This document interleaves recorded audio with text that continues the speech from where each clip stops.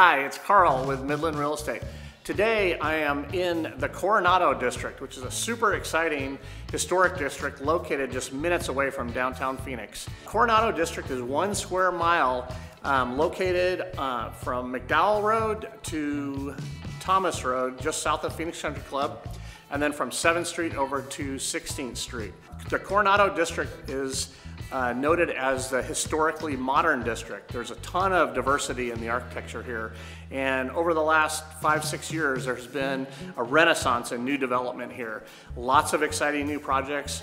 There's modern contemporary homes that are going up. There's older homes that were built in the uh, early 1900s that are being renovated uh, into very nice cottages with upgraded features and amenities. There's tons of restaurants, all locally owned and very unique in style. Lots of fun things to do. And walk and bike to all those uh, local eateries. Plus, you're minutes away from the airport, from downtown, from Scottsdale. Uh, so there's lots of things to do and it's very conveniently located. The values of real estate here are fantastic. There's great opportunities. There's lots of different uh, styles and types of homes. If you'd like more information or you'd like to see Coronado District, please reach out and contact me. I would love to show you around. It's a great place to be. It's a great place to live. And it's a super exciting place. Coronado District, historically modern. Thanks.